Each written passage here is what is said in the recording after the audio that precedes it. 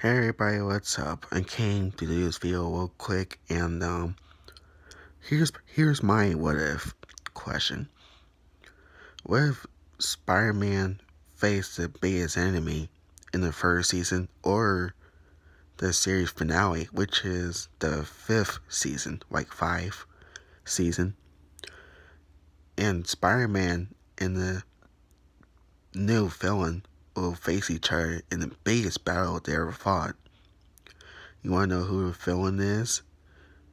Let me go to the next page.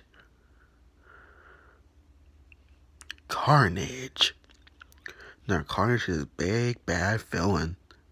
Once again, he is a symbiote, and his um, host is Cletus Kasady, which is he's a serial killer in that show.